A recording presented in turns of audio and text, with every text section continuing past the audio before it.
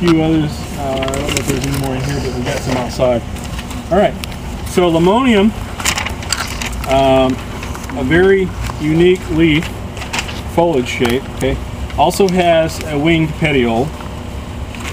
And uh, again, you see this maybe uh, foot and a half to two foot wide rosette of foliage. Okay. And probably gets up ultimately maybe six inches to eight inches tall max. So this entire thing is sort of setting a plate for this particular uh, bloom. All right. Obviously, once the blooms begin to come up, the scapes here are winged, heavily winged. In fact, there'll be wings on three sides of that particular uh, flower scape. Okay. And then they'll branch heavily. You see a lot of branching here. And an interesting thing, they, they're used uh, a lot, very widely in the forest industry. You can imagine this is a relatively unique uh, shape. Okay, so you can, you can dry these things, and they're very, uh, in fact, they use them mostly dry uh, in the forest industry. Now, if you were, were not careful, you would think that these yellow and purple structures were the actual flowers.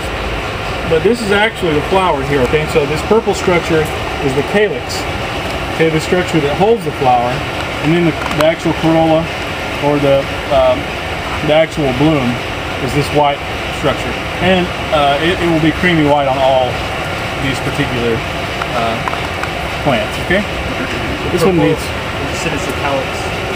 Yeah, the purple is the calyx. So this calyx has a yellow color. Yes, and then ultimately it'll open up with a, a white foliage, a white flower. So they're that small? Like they're always that small? Yes. Yes. This is typical size, okay? I can't imagine you guys having a whole lot of trouble with this particular plant. Mm-hmm. Uh, but we will talk about the foliage real quick, okay? Again, hit wing petiole. Alright. And then you get this sort of sinewy lobing that occurs on the leaf that ends up being about six to eight inches long, okay? And then quite a bit of uh, pubescence, very uh,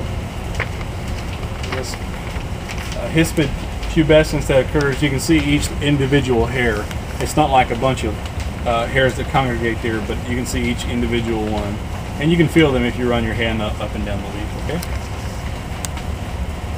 Would you bring in the whole plant or just a leaf?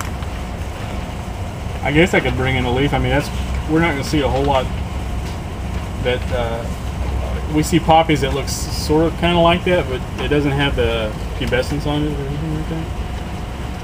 And typically doesn't have uh, such a winged petiole either, okay? I'll try not to confuse you. That's my that's my goal every semester, to not confuse her.